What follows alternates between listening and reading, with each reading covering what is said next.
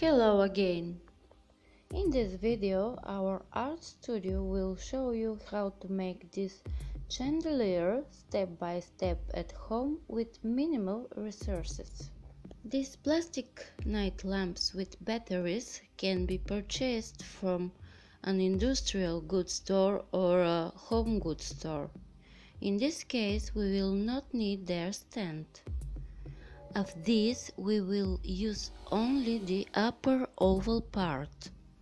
For the three ovoid bodies of our chandelier we will need a total of six upper oval parts of lamps. From the wooden board the thickness of our is 3 centimeters or 30 millimeters.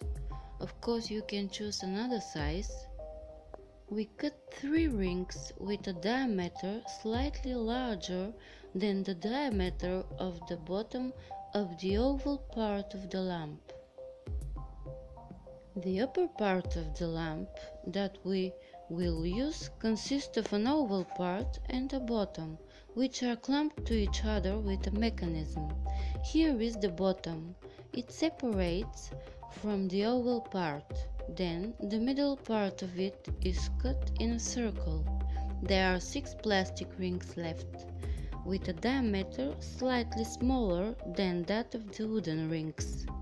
Here you can see the bottom cutted out from it a plastic ring, the middle cutted off part of it that we don't need, and the wooden ring with attached to it on both sides with screws plastic rings. For one egg-shaped body of the hanging chandelier, we use a wooden ring, two plastic rings and two oval pieces.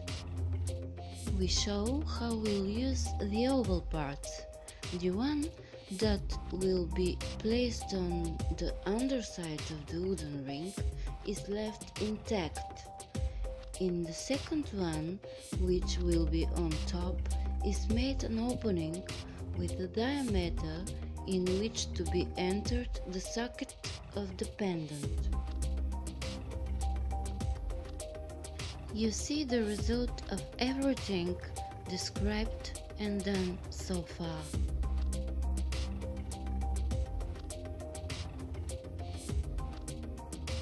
In the cable of the pendant, we inserted a wooden bow to be at the top of the socket. We bought the bow ready. We used the socket of the pendant and now we will use its upper part. Cut off the top of the pendant. Where it is cut, smooth it with sandpaper as shown.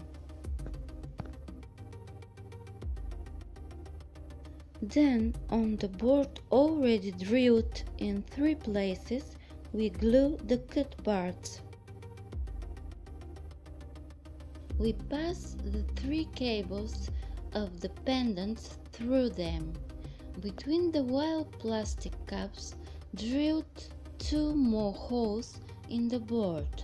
The chandelier will be attached to the ceiling through them. The length and thickness of the board is optional. At the back of the board we have carved grooves for the cables to enter and connect. We close these grooves with plastic caps, which we fasten with screws to the board.